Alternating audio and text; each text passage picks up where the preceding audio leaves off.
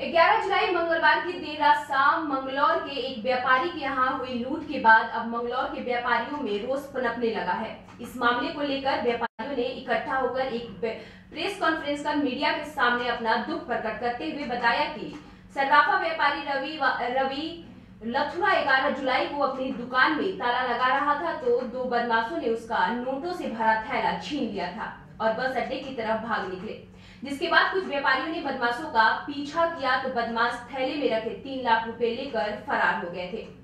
वही व्यापारी ने इस घटना के बाद भारी रोष है व्यापारियों का कहना है कि नगर पालिका मंगलौर द्वारा सीसीटीवी कैमरा खराब पड़े हैं, जिसके चलते बदमाश बेखौफ होकर आपराधिक घटनाओं का अंजाम दे रहे हैं।